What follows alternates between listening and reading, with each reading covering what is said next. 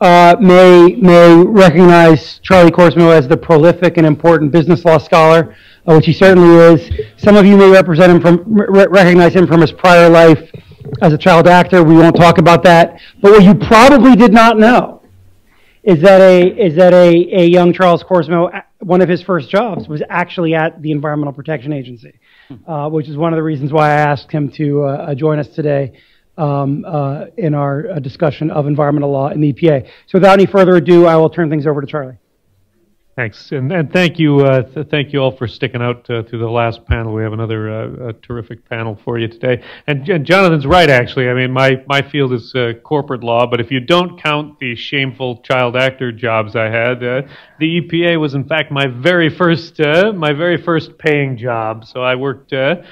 In the Office of Policy, Economics, and Innovation. and I, I, looked it up today, though, and now it's just the Office of Policy. So economics and innovation uh, got the hook at some point in the last uh, in the last 10 years uh, uh for some reason. Uh, but uh, but this panel is going to discuss the many ways in which the EPA has influenced state environmental policy. Uh, domestically and uh, uh, also environmental policy internationally, both in individual nations and in various international bodies. Uh, the format's going to be the same. Each speaker, uh, I believe, will have 15 minutes uh, to talk, and then we, we should have a good a good amount of time for a, a discussion, uh, both among the panel and with the uh, uh, with the audience. so I will introduce our speakers briefly. immediately to my left, right stage left here, to bring in my old uh, uh, Professor Percival, uh, Robert Percival, he's the Robert F. Stanton Professor of Law and the Director of the Environmental Law Program at the uh, University of Maryland. Uh, and uh, following his graduation from Stanford Law School, Professor Percival clerked for Justice White and was later a senior attorney for the Environmental Defense Fund. Uh, prior to joining the faculty at Maryland, where he's now the principal author of the most widely used uh, environmental case law book uh, in the country, uh, and is uh, an internationally recognized scholar of environmental law. Uh, moving one one further over is Katrina Wyman. Professor Wyman is the Sarah Herring Sorin Professor of Law at NYU Law School, and also serves as director of the Environmental and Energy LLL, LLM program uh, and Deputy Faculty Director of the Guarini Center on Environmental, Energy, and Land Use Law. Uh, she holds degrees from the University of Toronto and from Yale. Uh, and uh, like all of our panelists, is an internationally renowned scholar of. Uh, I'm going to stop saying that at the end of uh, at the end of each of that applies across the board, right? Uh, without further ado, right? Uh, professor Vandenbergh, Michael Vandenbergh, is the David Daniels Allen Distinguished Professor of Law at Vanderbilt. Uh, as well as director of Vanderbilt's uh, Climate Change Research Network and co director of its Energy, Environment, and Land Use program.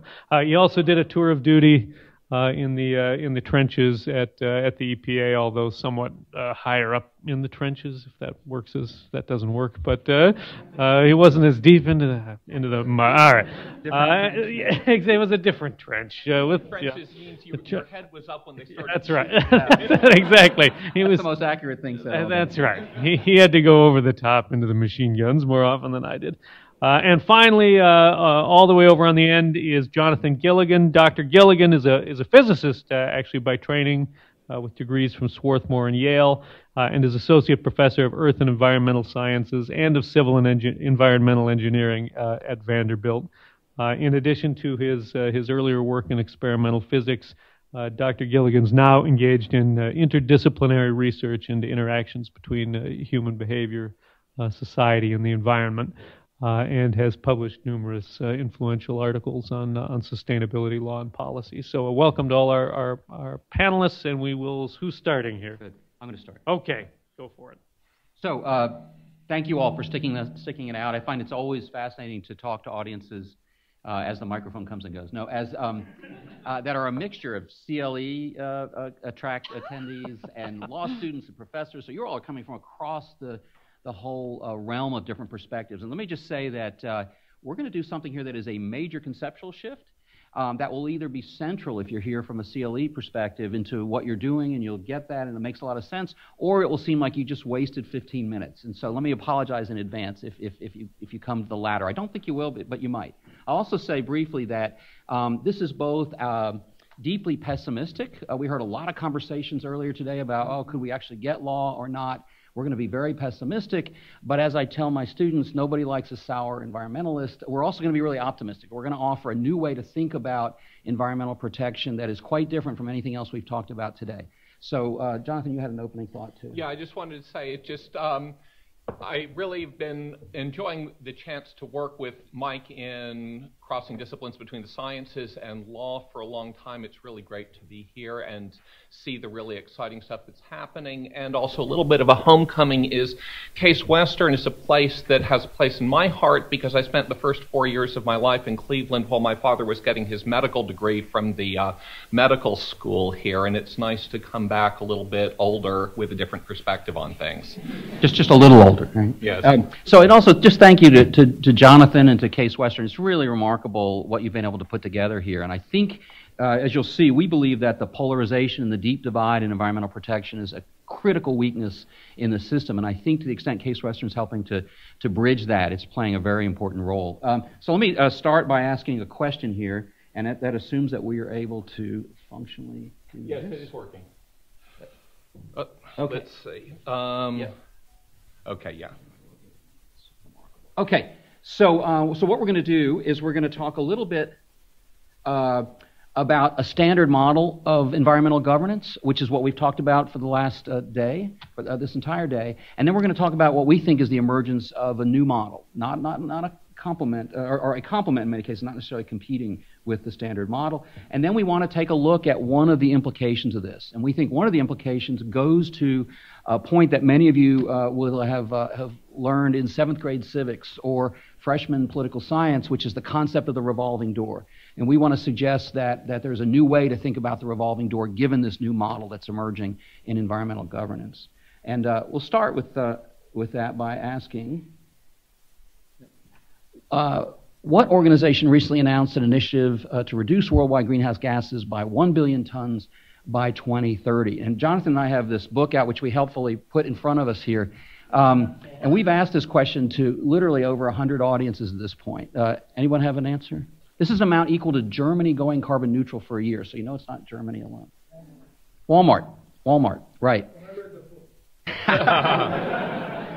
you're, you're in a small and exclusive club, Don. but we hope very well informed. Um, so, uh, yeah, so it's Walmart, right? Uh, and we think this is a new thing that's emerging. All right, we don't want to overclaim about it, but we believe that some of the most important things going on out there on the climate front in particular, but also in other areas, are, are activities by the private sector. And, and what we want to do is, uh, is talk about how, in our view, what's happening here is that over time, if we think about the traditional governmental model, there are a series of assumptions that are built in. And the first is that the actor is government. We ask when we see a problem, and so we've done all day today, what can government do? How can it do it better, et cetera? Uh, international government, subnational, etc. And that then means that the actions are laws, policies, and programs. I was taught environmental law, like I assume everybody in this room, as a subset of administrative law. And our argument is that's still largely true, but there is a lot more going on in environmental governance today that's relevant to lawyers that is beyond the traditional model that we all studied. Uh, and, and as a result, the instruments that we study, the instruments we deploy for NGO uh, lawyers or government lawyers or private sector lawyers are different than they might be. And there are actually many parallels between the public and the private instruments cap and trade or, or, or market mechanisms, prescriptive me- mechanisms, information regulation, et cetera. Um, and it also, what we're finding is that private governance is actually um, uh, addressing many of the same topic areas. So we have parallel instruments in public and private governance and parallel, parallel topic areas, too, is a piece that I did with Sarah Light at Wharton uh, a few years ago.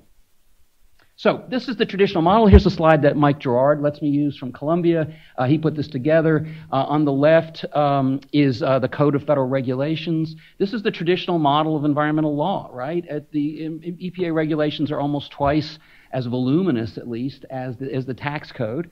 So as I tell my students, we're number one, right? Uh, which doesn't make the conservatives in my class happy. Um, so um, uh, that's the traditional model, but here's a, a, a, phenomenon that I think is very hard for all of us. There's almost no one in this room who teaches or is more senior in the environmental area who didn't, didn't come through the environmental conceptualization forming process except in an era when statutes were the answer. And so what we did is we looked at what the major pollution control statutes have been since 1970, and we find uh, almost two dozen adopted between 1970 uh, and 1990.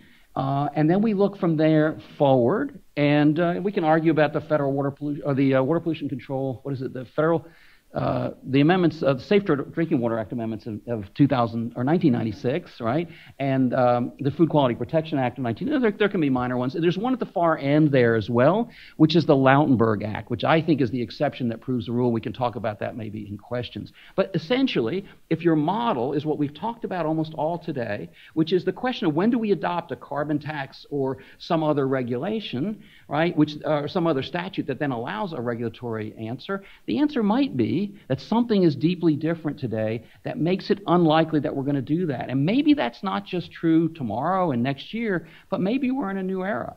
Maybe we need to be thinking a little more creatively, more generally, because we never look at these eras. I was the EPA chief of staff uh, in 1993 right? And we're going to talk about that in just a second, uh, why that matters. Yes. So if we ask why is this, why hasn't, why has there been only one major statute in the last um, almost 30 years is that the, um, we have big barriers to federal pollution control statutes. We saw Democrats and Republicans have generally not all lined up. This is showing over time the League of Conservation Voters scores for Democrats and Republicans. The House is in the solid line, the Senate's the dashed line. There were differences, but they were fairly close together through the 70s through the 1990s. And then, roughly about the time that Mike showed up at the EPA, yeah, right yeah they just completely diverge. And so now we've got a kind of partisan polarization that didn't used to occur, and that makes it much harder to make the kind of deals and negotiation to make things happen. And so we have a bunch of barriers to any new federal pollution control statutes that'll go through the legislature. Is first of all, you need to have a priority from the White House to push it. You need to have um, control by um, those who favor the legislation in the House of Representatives, and then not only a majority, but enough to override um, a filibuster and possibly a presidential veto in the Senate. And then at that point, it all gets kicked for years and years and years to the courts to sort out whether the um, statute is legitimate and how to interpret it. And all of this really stands in the way of making progress. And so what we see right now is that states that represent about 12% of the population, 5% of the vote, um, are controlling a majority of the Senate. And so it's very easy for a very small fraction of the U.S. population to block any progress on uh, making environmental legislation. Let me make a small correction that because I changed this. Yes. So, so the, the, the, that slide at the bottom there is that in the last election, 2016, the, the 18 to 24 part of the population made up 12% of the population and 5% of the vote. Uh, and that 18 to 20% of the U.S. population now controls 50 plus votes in the U.S. Senate. Yeah. Just thinking about that as we think about are we going to adopt a Green New Deal or whatever mm-hmm. it might be. Yes. So what we see now is if we start looking at what some of the barriers are, um, there's, a, there's a different aspect of this, which is then why do we have such big opposition by one party to adopting new um, new federal laws. And so one part is this has been a thing for a long time among advocates of environmental action is what's called the information deficit model that says just the reason that we're not seeing more action is because people don't understand how serious the problem is. And if we just explain better how serious the problem is, then the public will support strong regulations, the elected officials will fall in line and we'll get action. But what's found from empirical psychological research is this doesn't work. Sometimes, in fact, knowing the science better leads to people being even more opposed to new action. And one thing we see is a confirmation bias. People tend to selectively look at the data that agrees with their pre existing beliefs, and people often exercise motivated reasoning to try to look at the evidence selectively to prove what they want to be true. And So one thing we can see is this is from some surveys of whether people simply think the fact there's a factual question: Are recent winters warmer than they used to be? And what we see is two pieces here. First, there's a partisan uh, determination. People who are more to the left tend to agree more that yes, the uh, scientifically winters are warmer than they used to be. People farther to the right think they're not warmer, but also the degree of that partisan effect is strongly um, dependent on whether you talk to people on the other side of the divide. So, just in simple terms, that means that our, our worldview is affecting our memory about the recent winters. So just think about how deep our worldview effects are. Yes. And then we have things where people look at these issues, and this really affects decision making. So we see if you ask people, would you install a new energy efficient light bulb in your home? Would you buy one at the store? And what's found is, again, looking at political ideology, comparing same compact fluorescent light bulb, but with a, blank, with a label that just um, has the basic information and one that has a label that emphasizes its environmental benefits, we see that when you label this according to its environmental benefits, there's a very strong partisan effect. People on the left are more likely to buy it. People on the right actually become less likely to buy it once they know that it's good for the environment. Same product. And this connects to something that we think is really at the heart of a lot of the opposition to new federal action on the environment, which is solution aversion, discovered by some psychologists at Duke University, which finds that if you don't like the solution to something, you're less likely to believe the problem exists. Um, if you ask Democrats and Republicans, do you agree with the scientific consensus that um, human activity is responsible for global warming? And you couch this in terms of asking people either, and if this is true, we're going to need government regulation to address it, or there are free market solutions to the problem. And we see that among Democrats, there's not a lot of difference here, but on the right, among the Republicans, there's a strong difference in their assessment of a scientific question, what's causing um, climate change, depending on what you tell them the solution would be. And so we believe that if we can provide alternative solutions as credible responses, we may be able to get around a lot of the debates around is the problem even happening or not. Good, and that's not just a conservative phenomenon. If you ask liberal, if you tell liberals uh, nuclear power is the solution to climate change, they get less worried about climate change, right? Just as concerned. And again, this isn't just rejecting the solution; they get less worried about the underlying problem itself. So, if you're a manager of a corporation or a university or a religious organization, you're focus, you're facing uh, a scenario in which we haven't had a major pollution control statute, with the exception of the Lautenberg amendments in, uh, in 2016, in the last quarter century or so.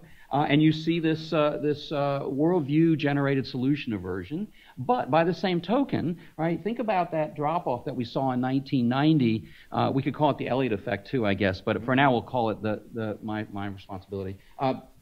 John doesn't think that's funny. Okay, so so, so, so um, look though, if you're a corporate manager, for example, right, has public support for environmental protection dropped off since 1990 the way the legislative activity has?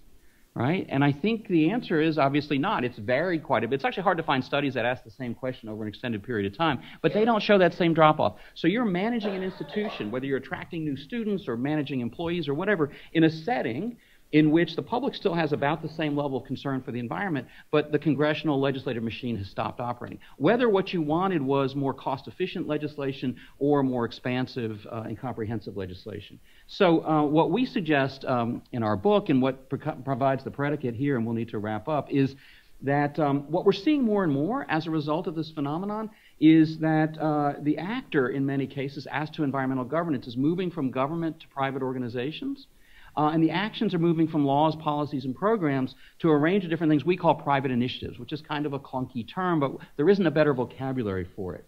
We see that there are parallel instruments. There are command and control standards through supply chain contracting, et cetera, just like we see command and control in the environmental area. And there are market mechanisms. Internally, uh, Microsoft has a carbon tax. Um, uh, so, uh, So we also see that in subject matter areas. So why is this important? Uh, 10% of all the fish caught for human consumption in the world are caught uh, subject to a private standard formed by Unilever, then the largest uh, uh, seller of fresh fish in the world, and the World Wildlife Fund. Uh, roughly 15% of all of the temperate forests in the world are subject to a private sustainability standard.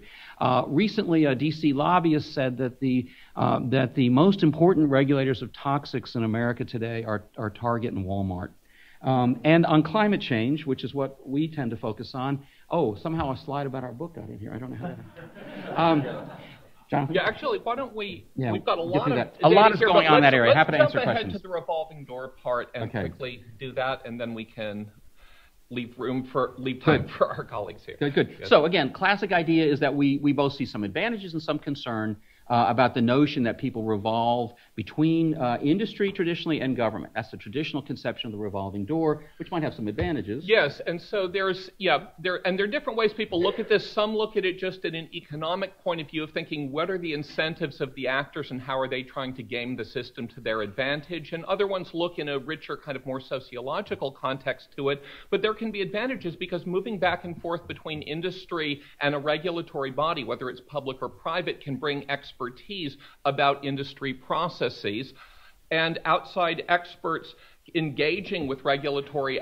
um, agencies can create a richer dialogue. Um, and we can go ahead Sure. to look So, at but the principal literature in political science and law suggests concern about agency capture. That basically, people while in government will be acting not in the public interest but in the corporate interest because they are thinking about moving to the private sector uh, and, and vice versa. And so that's the general concern about the revolving door. And, and what we want to suggest is, um, is that in fact there may be a new revolving door that has emerged. We might call it a green revolving door. So we did a little um, mini empirical study, nothing sophisticated, but we looked at the top 25 private equity firms in the U.S. and we found that four of those firms have managers in them of sustainability who've moved not from government and into industry and vice versa, but from an NGO into the private sector. Okay, so for example, the Carlyle Group, which is one of the most successful private equity firms in the world, has a chief sustainability officer who was formerly a top staffer at the Environmental Defense Fund. Uh, similarly, we looked at uh, the, the top uh, 25 uh, institutional investment firms in the world, and we find, uh, again, we find four different cases where people are moving from environmental NGOs into institutional investment firms like BlackRock uh, and PIMCO. And then we're finding a similar phenomenon um, in the corporate sector. We looked at the, the um, Fortune 100 list, and we find at least seven examples of people moving again, not from, NG, not from companies into government, but from NGOs into companies.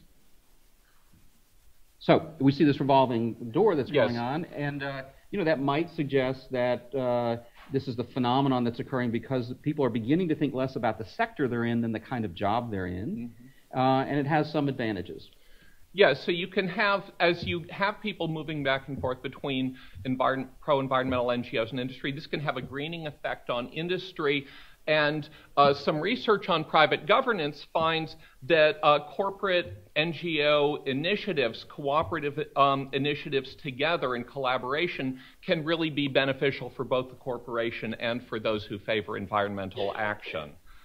Um, you have potential disadvantages of the same kinds of agency capture concerns that we have with regulatory agencies can apply with NGOs. This is particularly shown up in criticisms of non governmental private sector auditing of labor standards in uh, foreign factories. And it, uh, and it essentially can apply similarly to private sector um, environmental regulation. And there's also questions about what happens when you have conflict between the pro environmental side and the people working on trying to assure that there's a positive bottom line.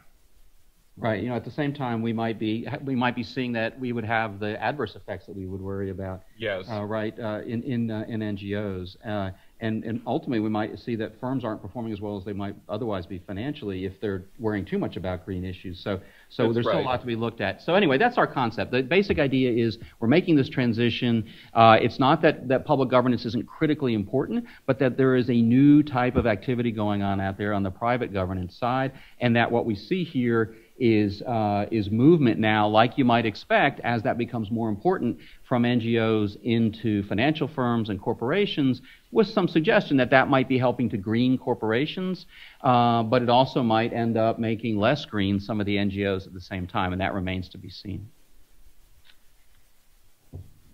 So thank you for your attention.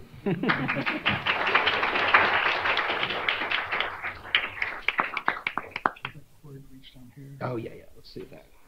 Yeah, here, and then we just have to make sure this goes. So, so yeah, pass that one down.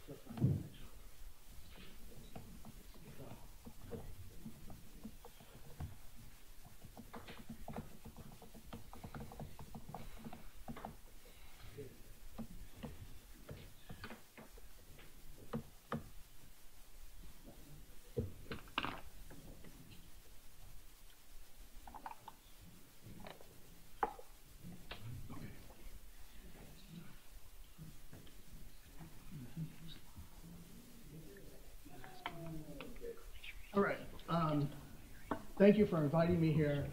Uh, I, I'm glad to be in Cleveland. I grew up in the Midwest. My father lived all his life in Des Moines, Iowa, where I grew up. And he had a cousin uh, who lived on a farm 20 miles west of Des Moines in Van Meter, Iowa. And he was an outstanding high school pitcher, so the Cleveland Indians signed him at the age of 17. And in July 1936, he made his debut for Cleveland, struck out 15 batters. And the next year, the Indians decided, since he was only 18 at the time, they would invite my father, who was two years older, to travel with him and gave him a Cleveland Indian uniform. That's Bob Feller there on the left and my dad uh, on the right. Now, uh, Feller turned out to be a pretty good success. He threw, he played for the Indians for 18 years, threw 279 complete games. 44 of those were shutouts, three no hitters, 12 one hitters. He was an American League All Star eight times, seven times he led the league in strikeouts, and he was a first ballot Hall of Famer. Now, fast forward to three weeks ago. The Cleveland Indians are still hanging by a thread to try to overtake the Brewers in the playoff race. And who do they play? The Washington Nationals, my team, at Nats Park the last three games. And I was really excited because there were lots of Cleveland Indians fans there, and several of them were wearing Bob Feller jerseys.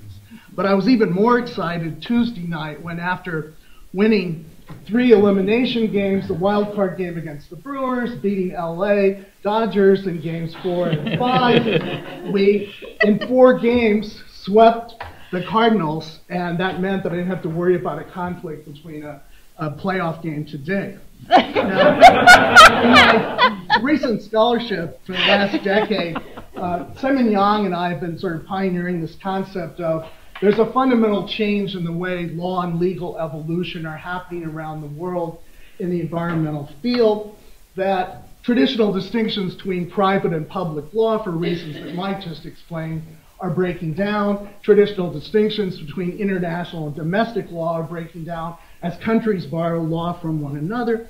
I'm working on a book on the history of global environmental law. Siming and I and Anastasia Telesetsky and Lynn Harmon Walker have just come out with this new casebook. It took us 12 years to write uh, on comparative and global environmental law and policy. Now, so I, I want to review the history of how EPA has played a major and little noticed role in the development of global environmental law. Uh, CEQ was created on January 1st, 1970. President Nixon signs the NEPA into law on New Year's Day, Day live on national television. In December 1970, EPA is created by executive order. Bill Ruckelshaus is the first administrator, and a few weeks later, Nixon signs the Clean Energy Act, uh, Clean Air Act. Now, even from the very start, a major role EPA has played is in international scientific and technical cooperation with other countries. On May uh, 23rd, 1972, even though we're in the middle of a Cold War with the Soviet Union, the US-USSR Agreement on Cooperation in the Field of Environmental Protection was signed and it renewed every five years. So despite political differences between our countries, there was tremendous cooperation among environmental scientists. The very first global environment summit was the Stockholm Conference in 1972, the U.S. Senate 63 member delegation, the head of the delegation was Russell Train, who was the head of CEQ at the time. Bill Ruckelshaus was also part of that delegation. And they worked out in advance a game plan for what they wanted to accomplish. At that conference, developing countries were really skeptical about the concept of global environmental regulation. Indira Gandhi famously said, when I see smoke, coming out of a factory. I think jobs, and I think that's good. Isn't poverty the biggest polluter of all? But the conference was a fabulous success, and it was the uh, 113 countries participate. It spawned the global recognition of the importance of environmental protection, issued the Stockholm Declaration. There was an agreement to create the UN Environment Program, to start negotiations on the Convention on International Trade in endangered species. When Train, who had been elected vice chairman of the conference, came back, he had a press conference at the White House where he said that the U.S. gained really all its important objectives at the conference. Uh, and in fact, starting with that point, the nations around the world started adopting environmental framework world, uh, laws, creating national environmental agencies, and uh, environmental impact assessment, which the U.S. had uh, pioneered, was adopted in virtually every country of the world. Now, the Reagan administration takes over. This is when I started practicing environmental law. I actually had gone to law school in Stanford, clerked in LA and the Ninth Circuit. I only wanted to live in California after my clerkship with Justice White. I got hired by the Berkeley office of the Environmental Defense Fund, and they said, well, with Reagan coming into office, uh, we're going to need a litigator to fight the new Reagan administration effort to roll back rules.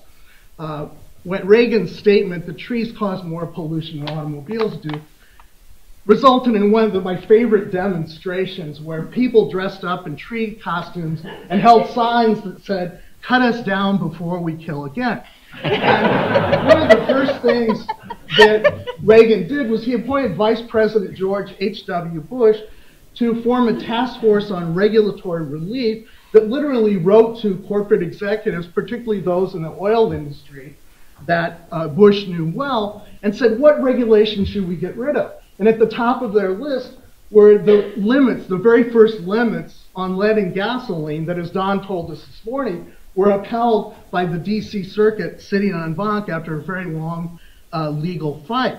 And in fact, EPA, at the direction of OMB and the White House, actually proposed to relax or rescind all limits on lead in gasoline. It created a complete firestorm in the public health community, and even conservative columnist George Will, who had befriended Reagan when he first moved to Washington, wrote a column, The Poison Poor Children Breathe, where he said, We Republicans are supposed to be for equal opportunity, but if poor and minority children have higher levels of lead in their brains, it's not equal from the very start of their lives. And ultimately, EPA was forced to abandon the effort to relax those lead limits. I actually argued the small refiner task force case in the DC circuit just six months after joining uh, uh, EDF.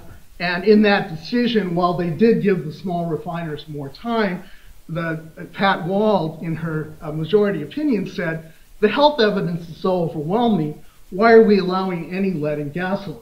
Now I have to differ just a little bit with Brian when he said OMB forced EPA to get lead out of gasoline. My perspective as someone who was working on it for EDF was that we approached Al Alm and Joe Cannon and said, look, you can solve the misfueling problem by getting rid of lead in gasoline that had been poisoning catalytic converters. And if you do a cost benefit analysis, which Reagan is supposed to be, his OMB is now instructed to use that, you'll see that there's enormous net benefits to just phasing lead out of gasoline entirely. And in fact, when they proposed to rescind the limits, they didn't do a cost benefit analysis because they said, oh, the executive order only applies to things that are going to cost industry more money. If you're going to relax the limits, then we don't need to. It's automatically good because it will reduce cost to industry. Well, ultimately, they did that cost benefit analysis, and OMB was so impressed with it.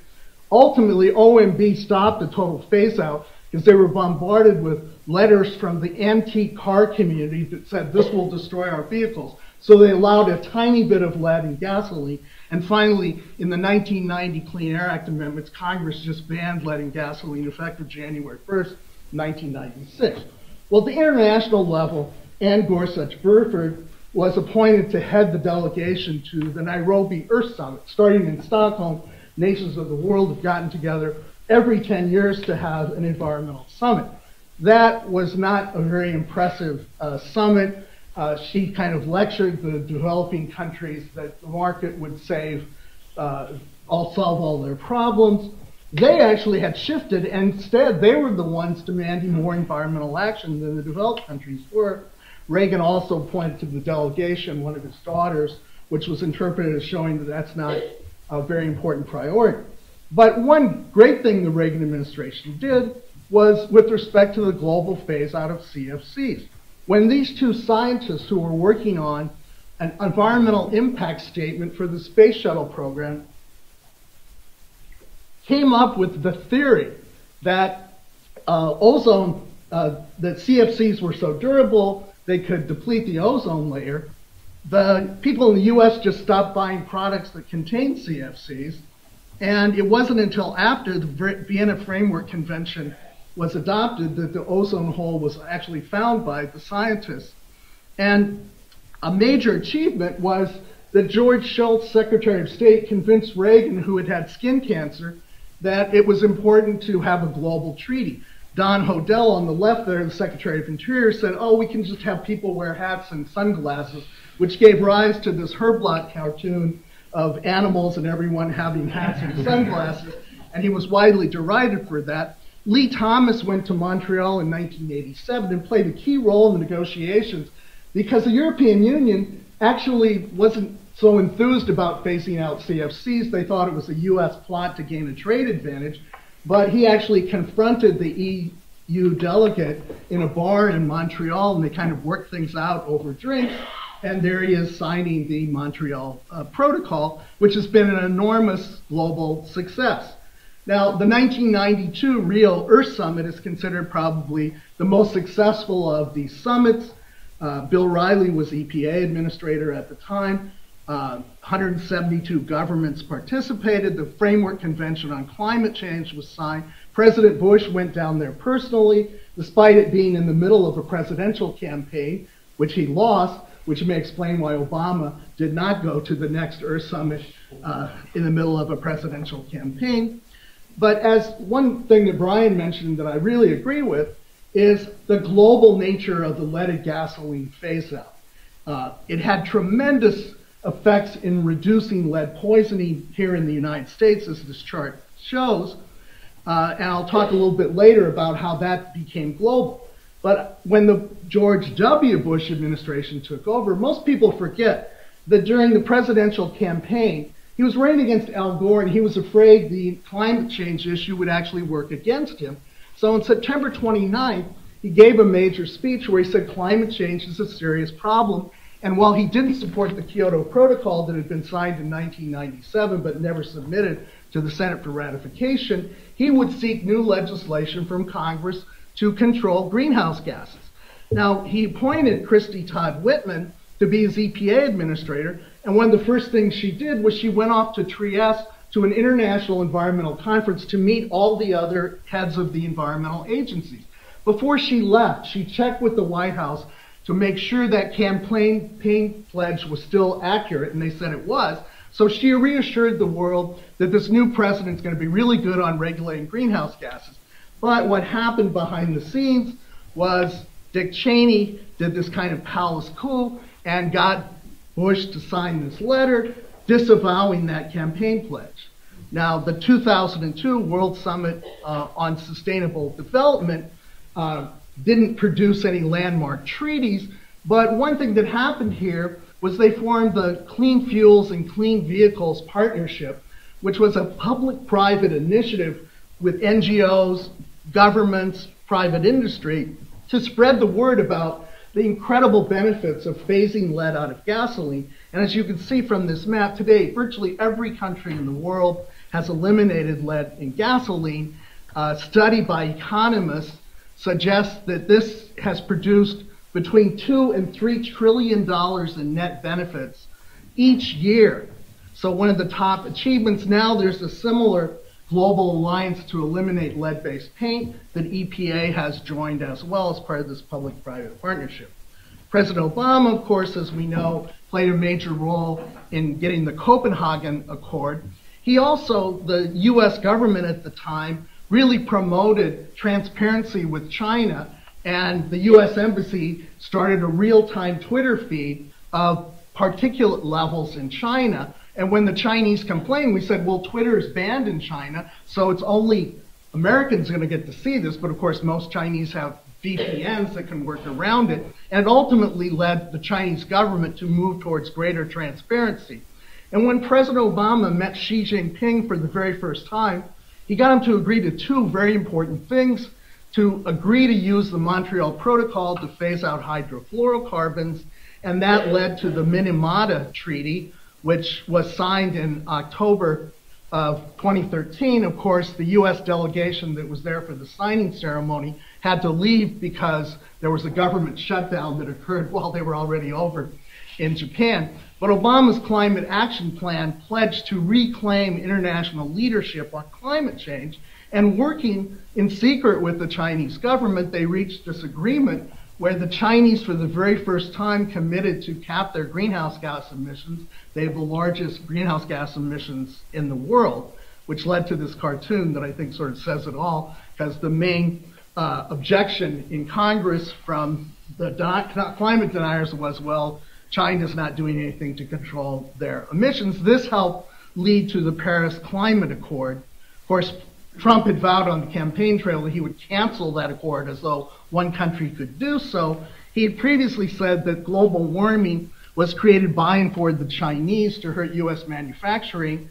The day after Obama took office, I got an email from the State Department saying, would you go on a speaking tour of China because we want to talk up the importance of them agreeing to limit their emissions.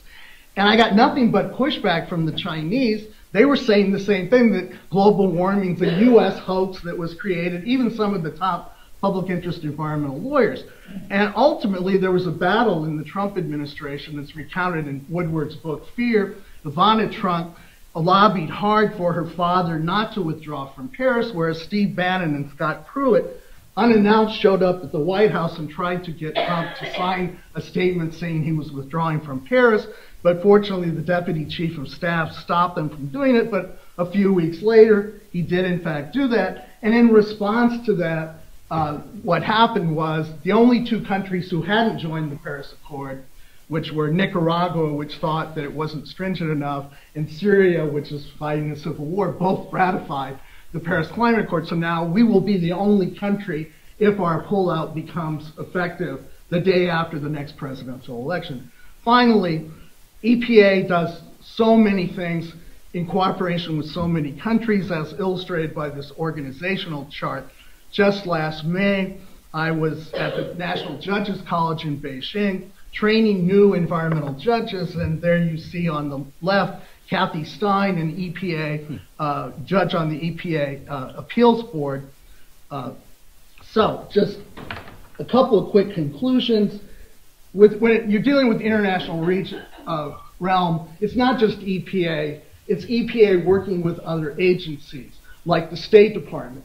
And the president's position on these issues is going to be vital because he has some, so much power in foreign affairs. There's a rising influence of private-public partnerships, as Mike indicated. EPA traditionally has been the real global leader, and it still is on a lot of the technical and scientific issues. Um, and the one reason the EPA does not get pushback from Congress on this stuff is that this should be a bipartisan issue that generates bipartisan support. Businesses want a global level playing field. So they support having other countries upgrade their environmental standards so they can be more like ours. Thank you.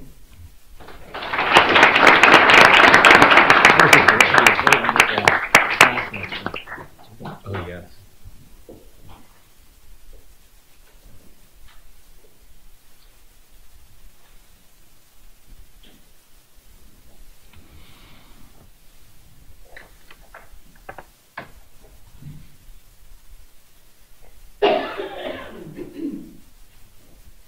Okay, so uh, thank you very much to Jonathan for organizing a really, really great conference, and I really appreciate being invited uh, to to speak at this event. Um, and I've learned a ton from hearing all the other speakers. Uh, so. I, um, we're, we're, kind of going to go from EPA's impact at the international level to EPA's impact at the lo- lo- very local level. Um, it's interesting to me, actually, that we don't have anybody here at the conference who's really talked about EPA's impact on the states, because usually that's that's a kind of gotten more attention than EPA's impact on, on cities, which is what I'm going to focus on, using New York City as a case study. So um, EPA's really had a major impact on cities, um, on local government itself, and also on the landscape of cities. And uh, we don't tend to think about that too much. Uh, we tend to focus, as I said, more on EPA's impact on states when we're thinking about its impact on, on lower levels of government within the US. Cities are differently positioned than states vis a vis EPA. So, um, states often are delegated authority by EPA or by the uh, major, um, under provisions pursuant to the major federal environmental statutes. Whereas cities are often actually regulated entities, especially under the Clean Water Act and the Safe Drinking Water Act. Because cities are major purveyors of drinking water and they're managing wastewater, they're actually often big polluters. And so they get regulated by EPA or over time as um, the states have taken over more enforcement responsibility, they get regulated directly by the states, which are enforcing against them standards set at the federal level. So, what I'm going to talk about is basically the impact that EPA's had on New York City and its management of New York City's drinking water and of the way, and of the way that the city manages its wastewater. And I think, you know, this is an, in large measure a very happy story, I would say, that EPA has played a very significant role in forcing the city to upgrade its management of drinking water and wastewater. Um, and it's kind of an illustration, I think, of an argument that people often give for federal regulation that federal regulation ensures some minimum level of quality across the board, no matter where you are in the country. Um, but there are some caveats to my story as well, which will kind of be interspersed um, as I tell it. So, um, First of all, EPA, as, as uh, somebody made a comment this morning, I think it was Joe Alpi, I, uh, Joe Aldy, I don't think we can say that, you know, EPA is the only reason why water quality has improved in New York City or other cities across the U.S. States, too, over time have played a major role, especially in enforcing federal standards and sometimes you know, their state standards against cities. Um, and also, there have been significant economic changes, like the deindustrialization of major cities, which um, have undoubtedly improved water quality in cities as well as, as a lot of heavy industries have moved away uh, from American cities. Okay, now a second um, sort of caveat is I don't think that EPA's uh, record vis-a-vis cities is totally totally flawless. So in some instances, I think it's fair to say that EPA decisions have reinforced political process failures at the local level. So to the extent that environmental justice communities are marginalized sometimes at the local level, decision making, EPA has not always made decisions that have helped to counteract that marginalization. And there's an example of that from the New York City experience, which I'll talk about. And um, moreover, I think that uh, cities often, um, and this is an argument that the cities would make, it's hard for me to evaluate this from a neutral perspective, but uh, there's probably a good argument, at least the uh, cities make it, that often EPA regulation is very rigid and has forced cities to make investments in managing water infrastructure that are not um, cost beneficial that wouldn't pass a cost benefit analysis test. And so, just, uh, just in light of the comment this morning that we heard about how, um, from Administrator Wheeler, about how uh, the EPA is forcing New York City to build this uh, uh, cover for the Hill, Hillview Reservoir. So basically, this has a very long history.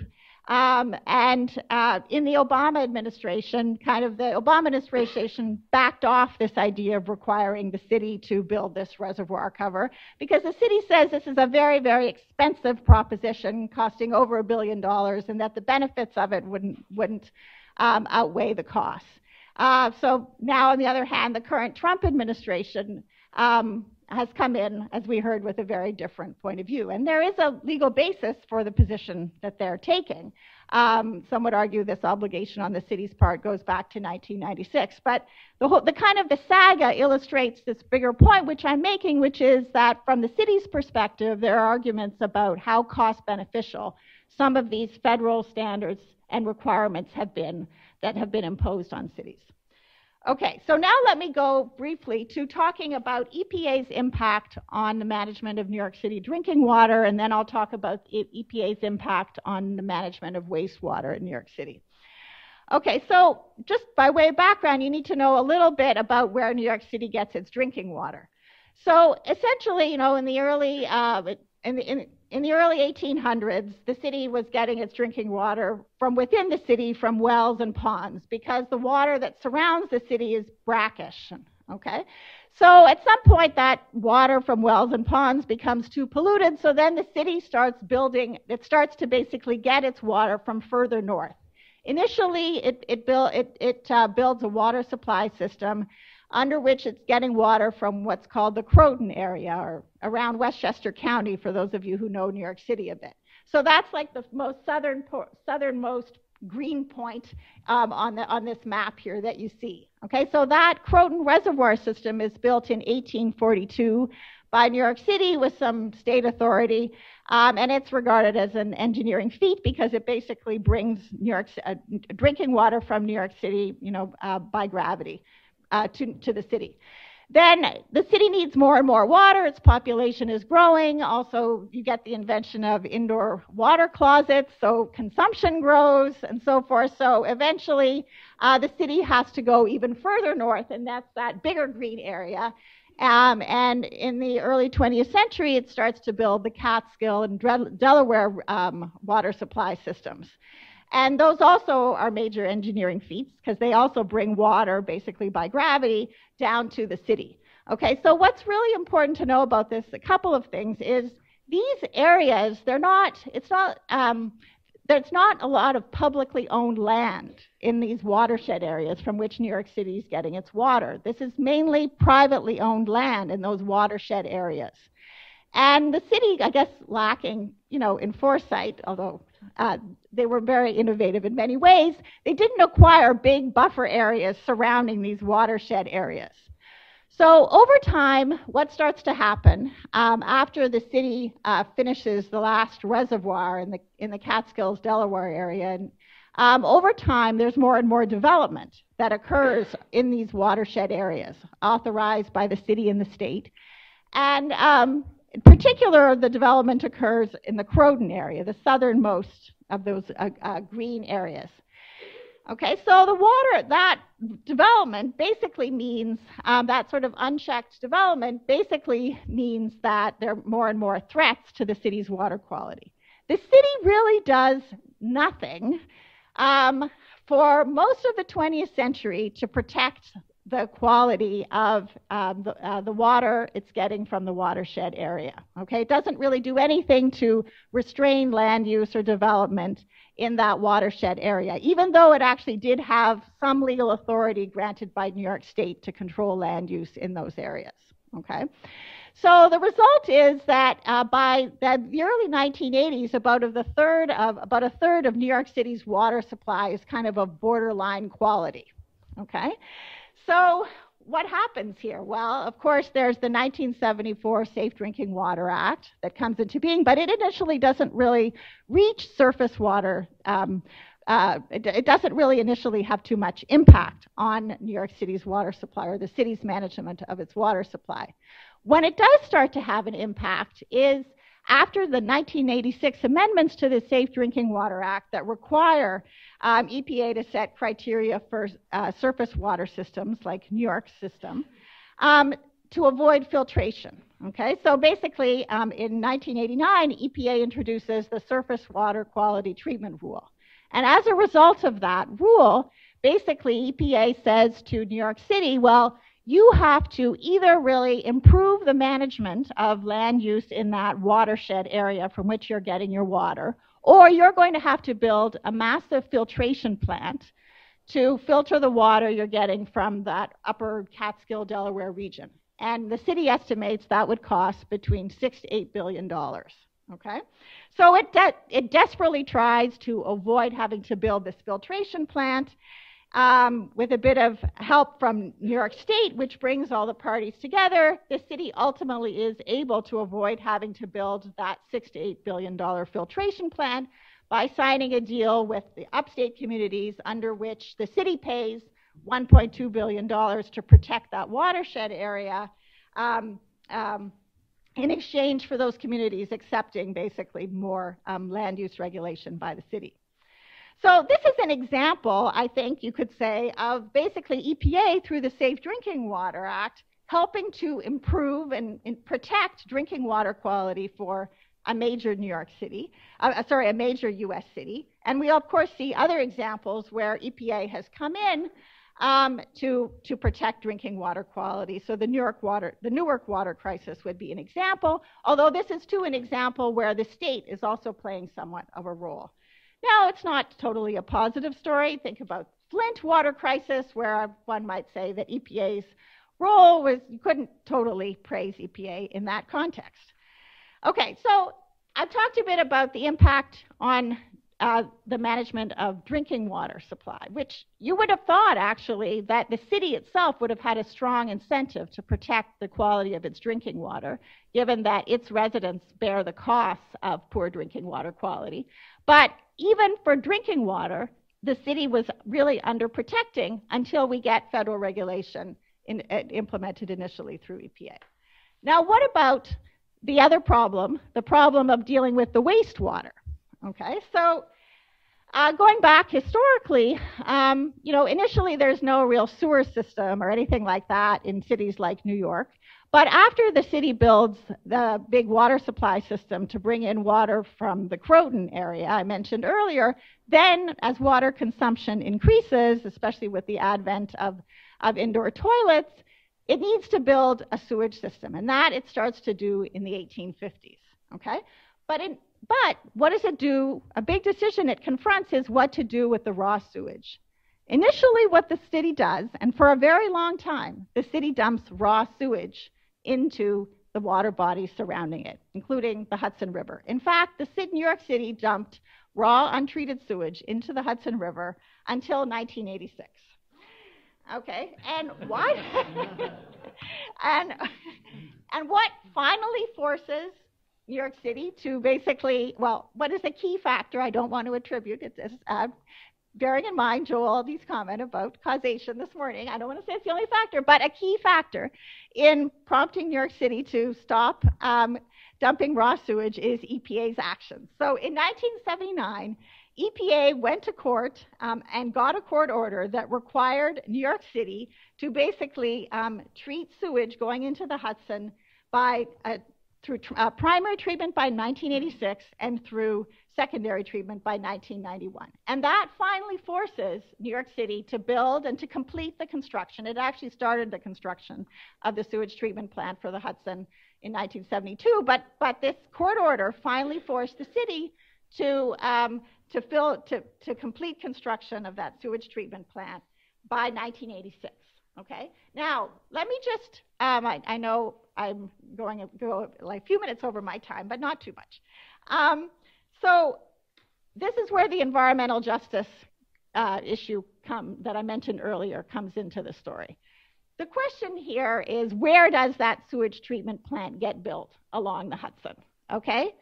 So, because of decisions that had been made in the 1960s at the local level, you know, long before EPA is in the picture, because of decisions made at the local level, behind closed doors, the local government had decided that the sewage treatment plant, which it knew would eventually have to be built along the Hudson, would be built off of Harlem, so next to the African and American and Latino neighborhood, rather than, say, further south um, next to the Upper West Side, which is white and more affluent, and which Robert Moses wanted to upgrade. Okay, so um, the sewage treatment plant gets built off of Harlem. Now, what is EPA's role here? Well, obviously, EPA did not make that initial decision, but um, in 1979, um, EPA uh, sort of ratified that decision, I would say, or implicitly ratified that decision when it issued a finding of no significant impact under NEPA, FONSI, um, that basically allowed the city to avoid having to do an EIS and to also avoid having to do any serious analysis of the air quality impacts on the Harlem neighborhood of building the sewage treatment plant. Okay, so basically, um, what ended up happening is the city builds the sewage treatment plant, which then has tremendous odor produces tremendous odor problems and air emissions that plague the neighborhood, and which lead ultimately um, in the early 1990s to the formation of WE ACT, a very major environmental justice group in the city, and to WE ACT launching um, a, a, a kind of a landmark environmental justice lawsuit in the city using private, suing the city for private nuisance for um, the odors coming from this treatment plant, which the suit gets settled by David Dinkins, the first and to date only African American African American mayor of New York City, just as he's leaving office. Okay, so um, so you can see, in a sense, uh, what I'm saying about there's a there's political process failures at the local level that EPA, at least in this instance, arguably had an opportunity to correct and didn't correct, arguably because it was very much focused on the goal of getting the water treatment plant built. Okay, so maybe, and maybe this is an instance of sort of tunnel vision by the agency focusing on air quality, sorry, focusing on water quality improvements, neglecting the impact on air quality. It's also, but there's also this environmental justice issue that the air quality impacts were going to be felt by environmental justice communities. Okay, so just in the interest of wrapping up, let me just emphasize that um, the uh, upgrading of the sewage treatment plants and the construction of this new sewage treatment plant that um, uh, the Clean uh, that the Clean Water Act um, uh, forces basically has had a tremendous impact on water quality around New York City. So it's kind of impossible for you to see this map, but, but take my word for it that the map, if we had more time, would show, these four maps would show that tremendous improvement. And this has affected the landscape around New York City. Okay, so since the year 2000, there have been five parks that have been created over, uh, that are over 20 acres in size in New York City, and they're all along the waterfront. Okay, these improvements in the water quality have really made the waterfront a much more attractive place to be. Now, this is also undoubtedly connected with the deindustrialization of New York City and the move changes in, in port technology as well. But the, nobody would want to be by the Hudson River if there was like still a ton of raw sewage being there. So this is an example of how um, EPA has really had a major impact on the landscape of a major U.S. city. So, just by way of conclusion, let me let me throw out um, a thought about the future. I've been talking a lot about the impacts of EPA at the local level in New York City in the past. I think an interesting question for the next 50 years is as we confront climate change, which also which means a lot for coastal cities, right? They're going to face more flooding. They're going to face, you know, more rainstorms. So they have new water management challenges now um, in an era of climate change. And I think an interesting question is well, what role will EPA play in promoting cities to adapt to these new water quality challenges? Okay, will it set some standards to, and, and require cities to meet certain standards about, um, you know, having the facilities to catch stormwater or to, uh, to deal with flooding? Okay, and if it sets standards, will it couple those standards or will Congress couple those standards with new funding? to enable cities to build infrastructure to manage flooding or to manage increases in stormwater. I think that's a new challenge for the next 50 years at the local level.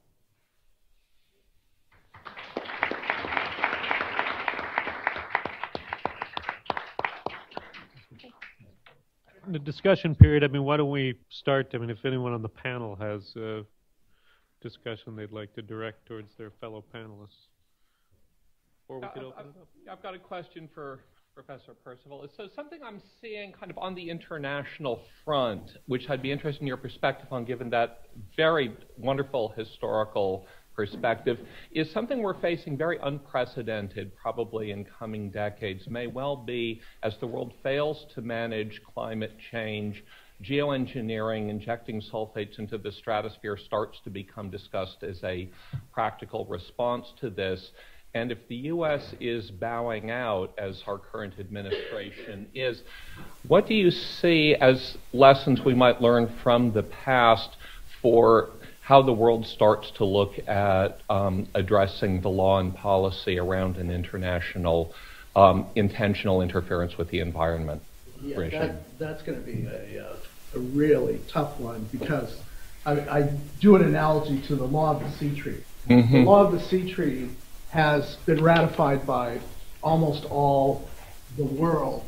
The U.S., for just pure ideological reasons of current opposition of at least 34 senators to ratifying any foreign treaty, uh, has made it impossible for us to ratify that. And yet, the U.S. government's been operating as though we are doing everything we can to comply with it. But what that means is we have no role in nominating people to the dispute resolution panel. And we keep hearing from China. uh, It's one of the very few international treaties that has mandatory dispute resolution provisions. China kept saying, well, we ratified the law of the sea. The U.S. didn't. But then when the Philippines brought the case against mm-hmm. China, they refused to participate in the mandatory dispute resolution. And now, after the adverse decision against them, have tried to buy out the Philippines from, you know, trying to enforce it in the South China Sea. The amazing thing is that the military strongly supports ratifying it. Every U.S. president, including President Reagan, who initially was skeptical, but they made changes when the treaty was negotiated over a 10 year period, he bought into it. Both Presidents, Bush, Obama, I don't know about Trump, but um, the business community supports ratification. Environmentalists support ratification.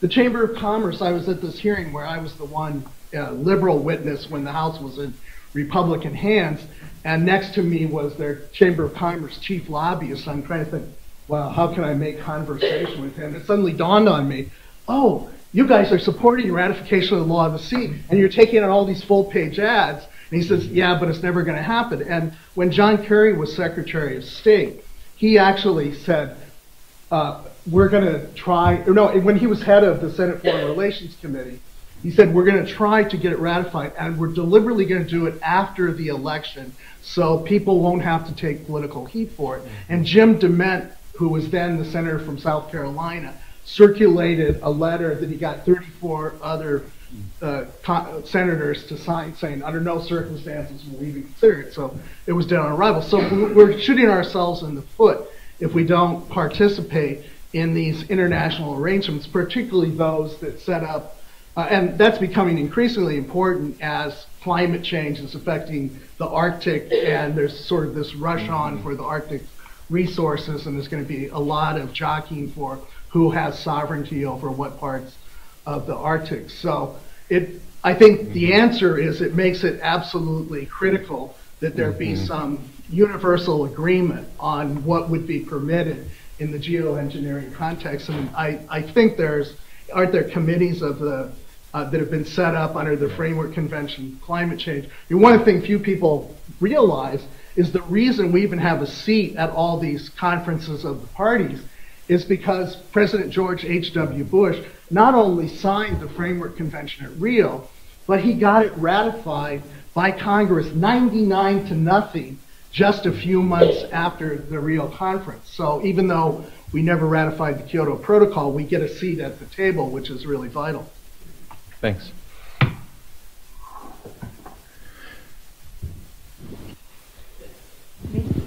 Um, I'm curious. Wait, wait for the, um, the microphone so Okay. that, uh, Yeah. if anyone's, I don't know if anyone's still in the overflow at 4:15, but maybe they are. Um, I'm curious about your graph on where you showed the um, environmental issues becoming much more partisan. Yes. Has anyone done an analysis of the influence of money in politics and decisions on, um, you know, dark money and, and all that in terms of creating or helping to uh, widen the divide? There's, there's a lot of research on that. I think there's, um, it's something where defining the terms of the research is itself in some ways so ideologically loaded that it's not an area that you're going to find um, a clear, objective answers that everybody can agree on. But there's been a lot of dark money. There's been a lot of research discussing the impact of that dark money and the and actually not only dark money but just money that's actually out in the open on strongly influencing um, the policy process and public opinion. So, Could I just um, add a citation on that? John Attanasio has an excellent book on this called Politics and Capital, published by Oxford. And it collects Mhm. all that research.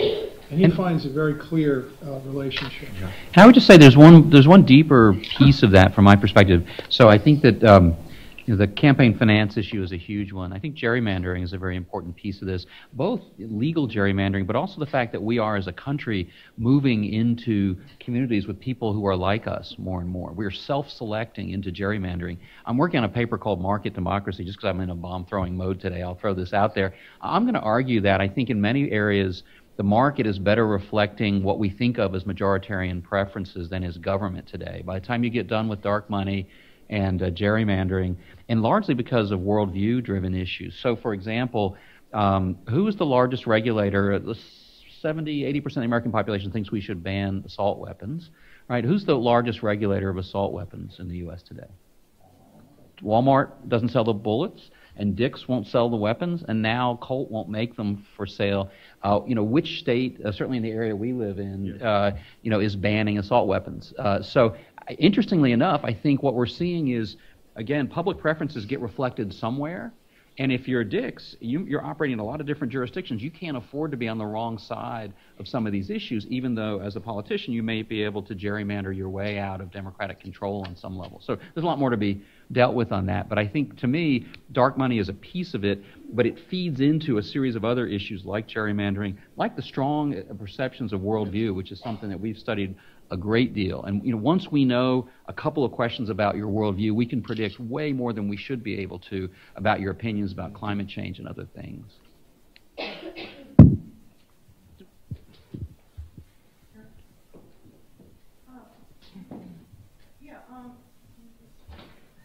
Right here? Okay. Yeah, um, I found the um, piece on the im- EPA's um, impact on cities really important. And one thing I'd like to hear more about is um, the impact in terms of their emergency response capabilities and Superfund on cities, because they don't really have the infrastructure to deal with some of the big things that happen.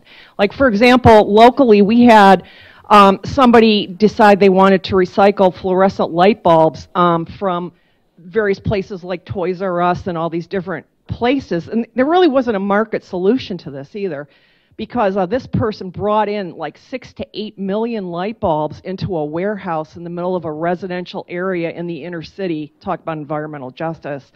Um, and just let them pile up and pile up and pile up. And um, they were broken, and there was no infrastructure in this warehouse in terms of firefighting equipment, not even a fire extinguisher.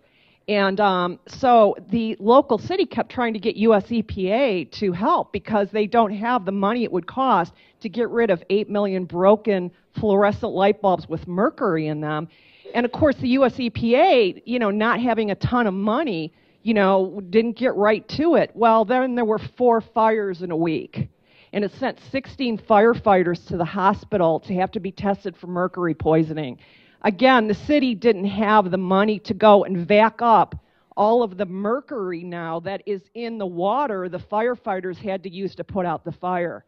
And you know, this is was really scary too when the government shut down because everybody in the media was talking about, you know, the parks are shut down and this is really bad and that you know veterans should be able to go to the veterans memorial. And, and i completely agree with that. But they weren't talking about how only 3% of the us EP staff, epa staff was working. And i happen to know us ep a particularly dedicated staff person who was putting out a fire in michigan at a hazardous waste landfill for days without any pay. And i think if the public heard these stories you wouldn't have that you know um, information deficit model when it comes to these things.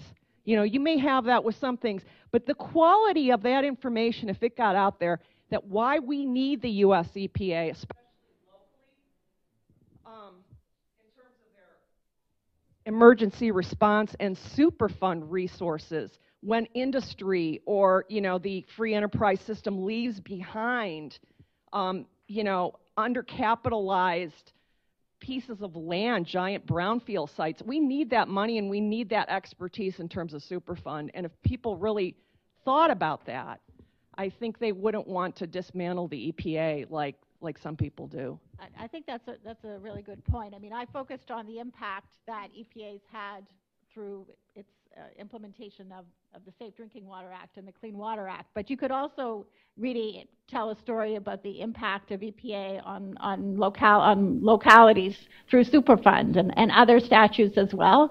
And um, this is definitely the case. They've had a major impact on landscapes through Superfund. And um, you know, I think that what you the, what you're telling, what the events you were describing, they really illustrate, and you know, the, some of the foundational arguments for having EPA and having federal environmental regulation in the first place was that you just don't have the resources and the expertise at the local level um, in, in many to, to, deal with a lot of complex pollution problems.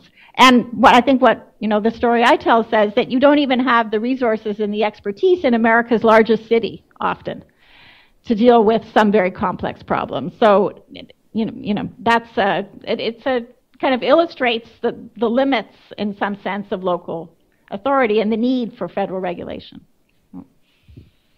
So I have the mic. Sorry, Joe. um, so first, uh, it was a great panel. It was really fun to hear from all of you. I love the kind of range of perspectives. Um, and uh, localities and so forth. So um, this is a question for Michael and Jonathan, and I also um, enjoyed the Michael Jonathan show. I have seen Mike Mike speak a lot and never gotten to see his co-author, so it's fun to see the two of you sp- go, going back and forth, interrupting each other and so forth. I enjoyed that. Um, so here, so I want to push back a little on the idea that the private um, uh, efforts on climate change are all about the private sector and blur the lines uh, more and also uh, give a big shout out to states given that I come from a state where we still like government and we still like government involvement in the environment.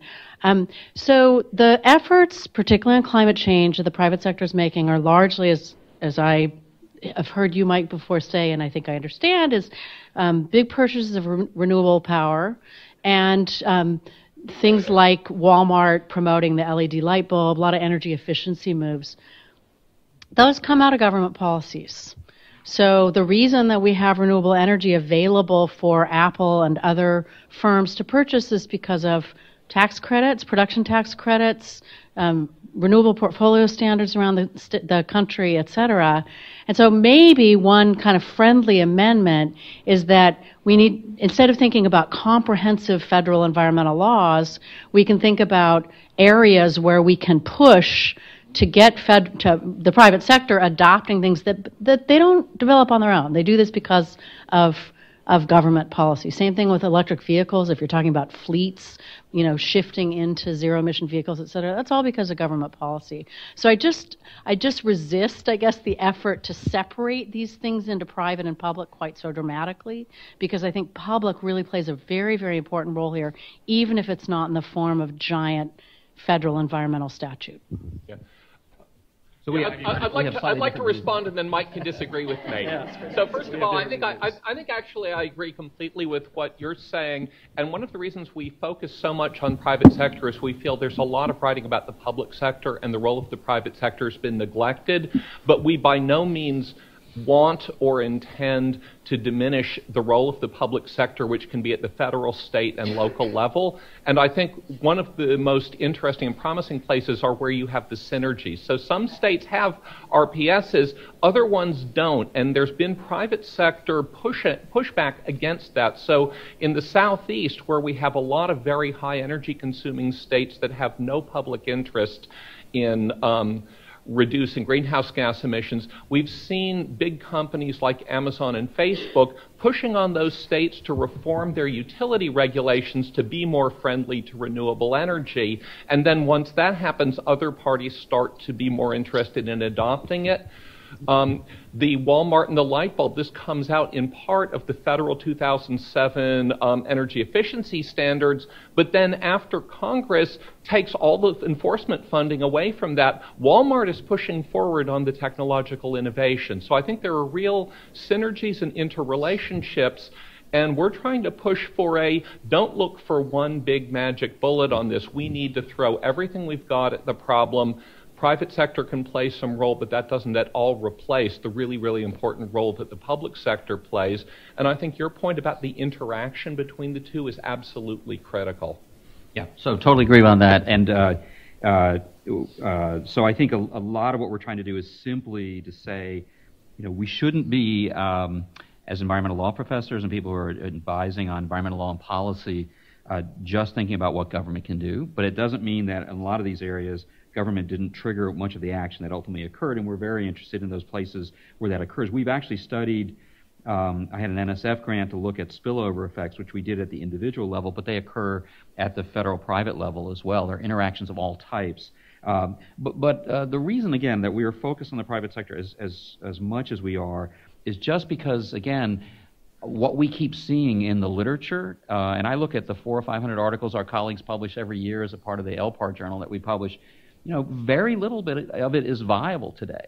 We are, we are, we are, um, we are engaging in a utopian view of the future, in my view, and so we're not being realistic enough about thinking what happens if, um, what happens if we don't get another major new pollution control statute in another decade. Um, so absolutely, we have to be thinking about the, the public sector, and we don't at all want to minimize. And in fact, we both, I think, would would support a comprehensive solution to the environmental mm-hmm. to the climate problem tomorrow if we could yes. get one. I think we're just trying to make sure, as a risk management in effect, that we're thinking hard about the private sector. In our part of the country, the south, southeastern U.S. would be the sixth largest country in the world if it were a country, and the states in the south. Five, so. Yeah, yeah, you're always better, I know. But uh, um, but the southeastern states are, are not neutral. They're actively trying to discourage efforts to reduce carbon emissions in some cases.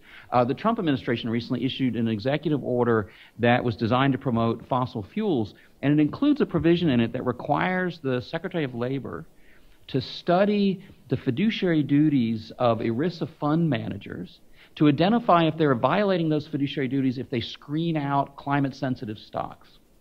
Okay? That's not a neutral phenomenon. That's an effort to try to stop the financial community from addressing the climate problem. The New York Times just did a study that showed that, uh, or published a, an article about a study that showed that the major banks are differentially offering to Fannie Mae and Freddie Mac those loans that are most climate sensitive in terms of flooding. Because Fannie Mae and Freddie Mac have to accept loans.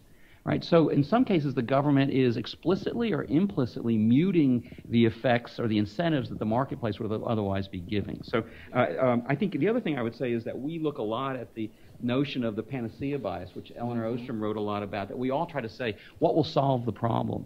And I think our perspective is there is no one solution that will solve the problem. It will be a combination of government at the state level, at the local level, mm-hmm. uh, and at the federal and international level, but with a private sector piece to buy some time in the interim. So yeah, the only thing that I would yeah. just urge is when I've heard you present yes. in the past, you don't give credit to the way in which the public sector actually drives those. Yeah, right. Mm-hmm. Yeah, right. But it, they're, not, they're not. They're not nothing to do with prior policies.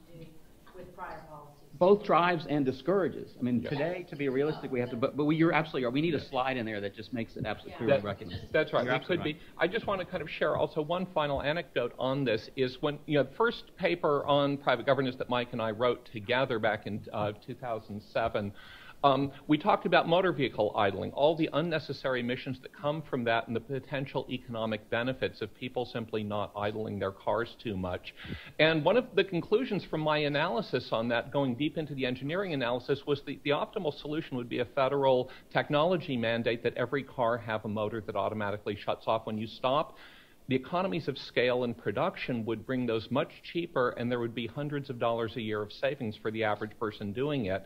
That would be the optimal thing, but government still hasn't mandated anything like that. In the, in the meantime, private efforts to get people to change their behavior and shut off the engine when they're in a drive through lane or waiting to pick someone up can have a big benefit until finally, maybe someday, we will get that technology. Forget about California. Yeah. California, California is wonderful yeah. that way. Right? Yes. California and ask them to do it, and you're much more likely to to Well- have it happen, and then Yeah. one Is- states can opt in. Mhm. As long as Yeah, it's you- and part you of- do- You do it's not part actually have, at the local level, anti-idling ordinances. A lot of new, But if you look at those, those are designed to reduce um, particulate pollution rather than climate. Yeah, Yeah, we did a very study of those. yeah, Yeah. yeah. Last, uh, last question? question. Last question. Uh, I think I think this is for Bob and Michael and Jonathan, um, asking you to speculate whether or not there's an obvious reason that geoengineering itself won't migrate into the private domain. I, um, yeah, I'll talk about that. That that could happen. I was actually at a summer school on geoengineering governance, and we and uh, one group there was wargaming exactly that. What happens if Google and a bunch of other tech companies decide to do it privately? It's a real it's a real possibility. Right. Yep. Mm-hmm. The, the tort risks, I would think of, you know, if you can, again, maybe the courts would throw those out, but I would think that would be certainly on the risk management screen of managers before they thought about throwing sulfate aerosols in the environment. But again, it hasn't kept them from throwing CO2 in the environment. When you're about to start seeing these trials in the climate nuisance litigation that are in state court, you know, state common law tort against the fossil fuel industry for denying climate change and promoting disinformation while they in fact believe just the opposite. And that may have a much bigger impact uh, in mobilizing the private sector in the fossil fuel industry to radically change their policies. But let me just say that the, sort of the embedded sort of implication of that is we would want to stop it. So it's a fascinating question. Maybe what we should do is start actively setting up a private system to think about carefully governing that and induce the private sector to do it to avoid a cata- catastrophic future. Who knows? Yeah. Well, on that light note, uh, thank you, thank you to all of our Very- panelists. Very quickly, um, uh, certainly thank all of our presenters today. Please join me again in thanking all of them.